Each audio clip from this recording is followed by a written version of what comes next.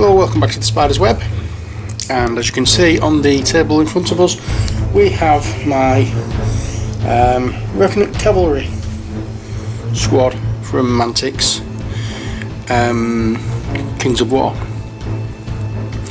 Uh, you can also see that one is just grey. Why is it grey? Well, this is the one we're going to be painting in this series just to show you how I did it. Um, I think you've seen some of these before but let's have another look. I'll just put them to one side so I can focus on each one individually. Uh, this is the one we're going to be painting now. Um, I'm also going to be showing you how to straighten these rather bent and warped lances and any other bits of bent. Uh, resin, plastic, whatever you want to call it um, in other games as well. So, uh, so this is what we're going to be painting first. Um, as you see we have ribs showing, we have sinew, we have bone, um, still a little bit of flesh on there and we also have the uh, armour plating, the saddle and all that on the horse itself. And on the rider we have the chainmail the clothing shield the feather crest on his head and then again there's bone and armour plating. So there's a mix of things that are really the same on both models and this is how we're going to be uh, looking towards it being oh this is how we're looking at it being when it's finished or as near as damn it. Um, the base is slightly different on these. Um, on the ones at the front as you may notice I'll take this one. There is grass and it's sand at the front painted up and towards the back it's looking as though it's uh, churned up earth. And on the back ones, the back rank it's the churned up earth. Um, we'll be showing you how I do that as well. But it's basically just to show that um, the horses have actually trampled on the grass and the soil and uh, while they've been uh, galloping into uh, into battle. So that's why I've done the bases slightly different on the front ones to the back ones. But that's that. So what I want to do now is I'm just going to step away put the kettle on and when I come back we're going to be starting painting your man here. I will see you in a few minutes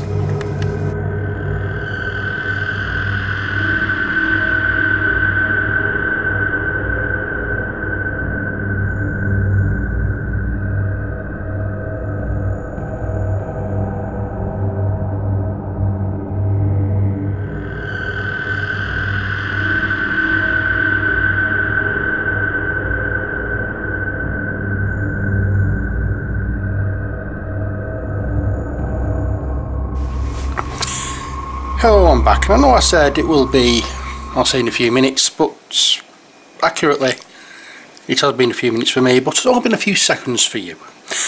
Um, I've had to wait until the kettle boils, and I'm going to show you now how to straighten up the lances. Okay, so what we need is hot water, fresh out of kettle. Mm. Seems strange with it not being infused with tea or or having uh, coffee dissolved in it. Oh well, never mind. And just dunk your model straight in for a couple of seconds, take it out, and as you can see it's very, very bendy now. You can position it, there you go.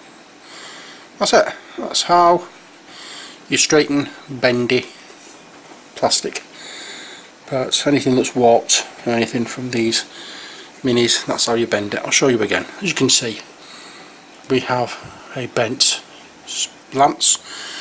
Place it's into the water. Take it out and it goes all floppy and malleable. You just position it how you want it. And once it cools it's done. Very very simple. That's how it's done I wouldn't attempt it on anything like that because that's supposed to be bent okay? Oh dear oh dear oh dear oh dear. Right. So that's that. A cup of hot water out of the way. Now I'm going to lower the camera and then you can see what I'm doing properly here. Right. Okay be a second. Now let's get started. As you can see on some of these not quite got into the Ujit uh, into the crevices with these. So I'm just going to go over and tart up a little bit of where I've missed. So what we need is a little bit of the Warplock bronze. And I'm going to be showing you the um, the paint in a little more detail with the names and such because um, a lot of people have been asking especially in the earlier videos um, of what paints I've used. So just so you can actually keep up with what I'm using um, I'm going to show you the pots from now on in much clearer and a much longer time just to so you can make a note of what's being used. And uh, I hope that helps. So that one's not been done. I've missed in here as well. You might be able to just see there. So we're just there we are. On is that okay? Yes okay that's silver. Uh, that's okay that's okay. Any of the others yep they're all fine. Okay so what we're going to be doing now is doing all the um, armour plating. We'll bring in our trusty pallets.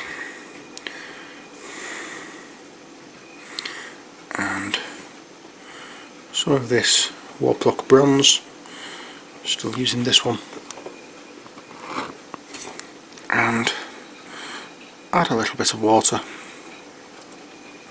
and then we can make a start. Now it's been a while since I did these so I'm just going to keep these I'm going to keep one of the horses side on in front of me so I can see exactly what colours I've used, where I've used them and uh, well, basically so I can remind myself um, because I'm trying now to get all my miniatures based onto the corresponding um, movement trays. Because um, I'm doing these with it being Kings of War and you don't take the miniatures off when you've caused damage. Um, I'm actually fixing mine onto the movement trays. So I've done wraiths, I've done my werewolves and I've done my zombies, ghouls and is there any others? Oh yeah I did my um, what we call it? Uh, catapult as well. So I will show you those in a later video. Once I've got them all done I will have my army on full display uh, take some photographs. And let you have a proper look and see what you think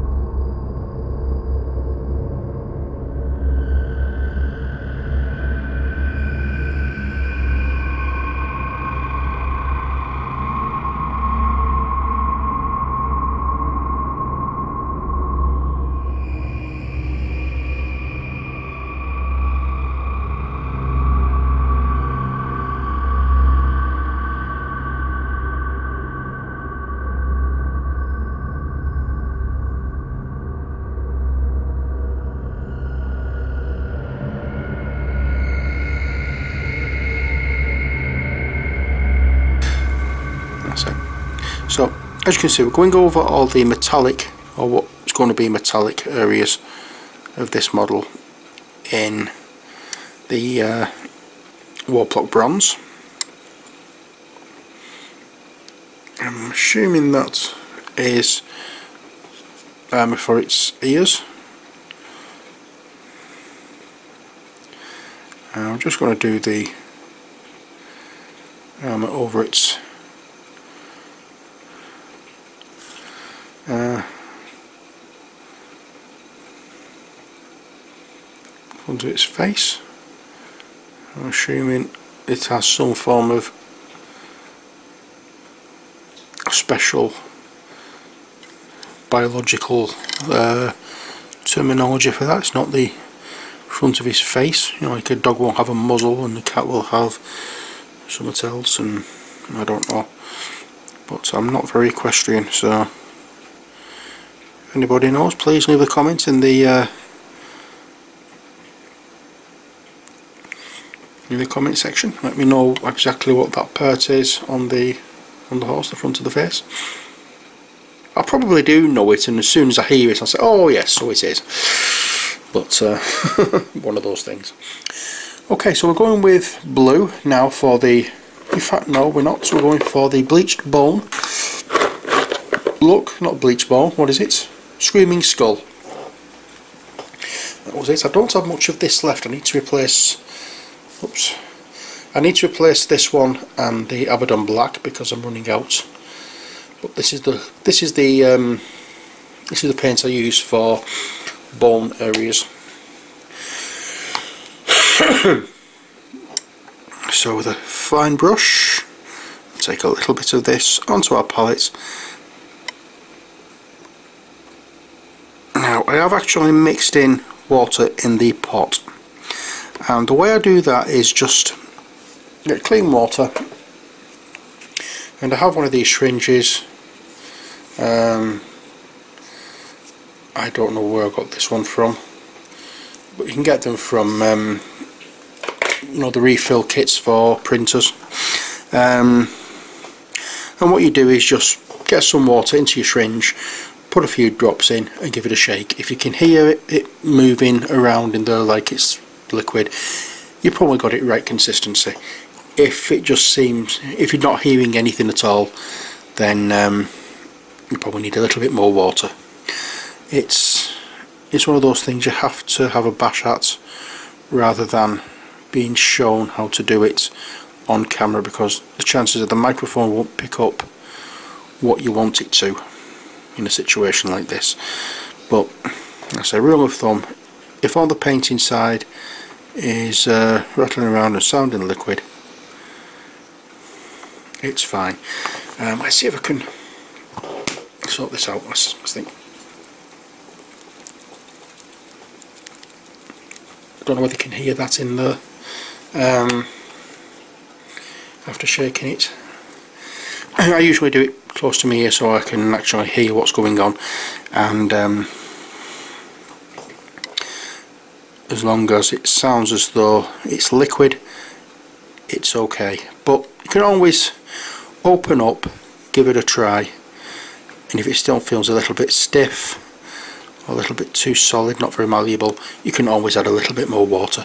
It depends on how how you'd like you how you like your paint I suppose do it a few drops a couple of drops at a time. Don't do too much because it's very easy to add more to make it thinner if it's not quite thin.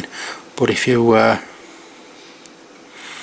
if you make it too thin it's not easy at all to get it back to a usable consistency. You've just made an expensive wash I know in some cases you may want a wash but for the majority of the part you want a paint. Hang on is that? It isn't. What am I doing? Okay that isn't bone. That is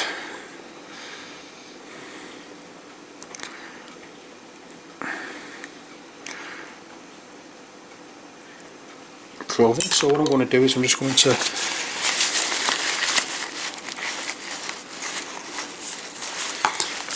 take a little bit of kitchen roll and just go over after soaking it in water to get up the majority of the paint. Now yeah just dry it off a little bit. That will do fine. So as you can see from the I've got a blue the main body is blue, is red. The sleeves are blue. I know, very strange combination, but now what the hell. I'm a very strange person, you may not have noticed. Right, so that is our rider done. Now it's time to make a start on the horse and we're looking now where all the bone areas are on the horse. When you've got the skull area coming down here, that's been tinted pink, or it shouldn't have been. Just add a little bit more highlights there, possibly there and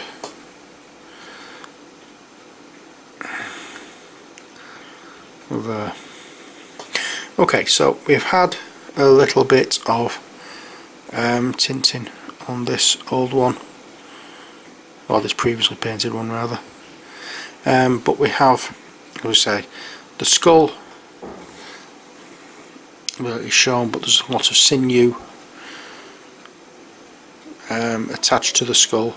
Same down here with the um, legs. And there are some noisy people around here. So now we've seen where the bones are. We also have bones here in the chest area have I done those? let's have a look yeah all I've done is uh, just painted them I haven't bothered with um, trying to make it uh, terribly fancy because once the rider's on it you won't get to see it. Not very well anyway. So let's just get on with doing the bony parts. I won't shut up. I'm going to keep pausing every once in a while just for check that we're still on camera because I noticed in my last lot of videos that I was doing um, I kept going off camera um, that's when I was doing the um, oh dear the librarian for the uh, Blood Angels um, minis for uh, Space Hulk. And it seems a waste of time me actually trying to show you how to, do these paintings and then going off camera so you can't actually see what I'm doing. Oh dear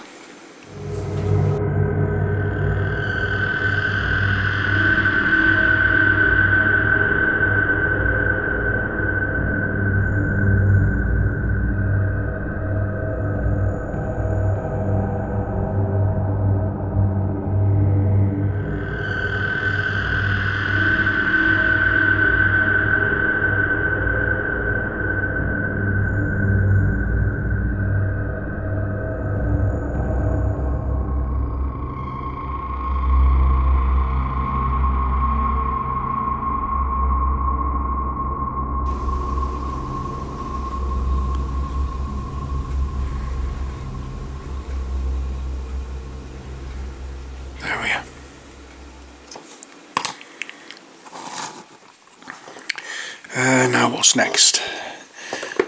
Well, we normally go with a little bit of pink for the sinewy areas. Um, so we get a spot of, I'm going to say spot, quite literally mean a spot as you can see.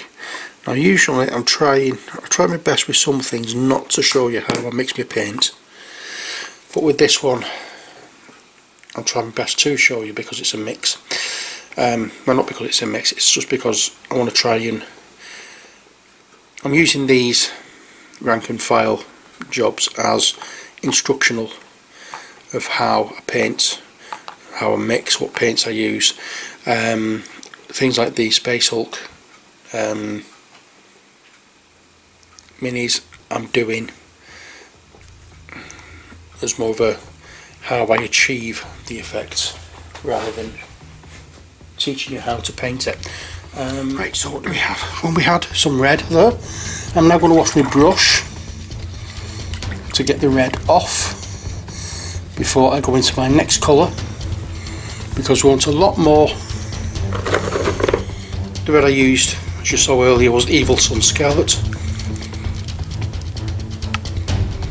I'm going to mix it in with some white scar. And uh, we want a lot more of this than we do the red.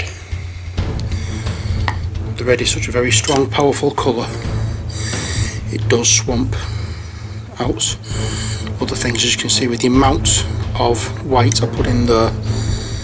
It's still a fairly dark pink colour, which is not what we really want. I'm going to add a little bit of water in with that as well, just to make it malleable.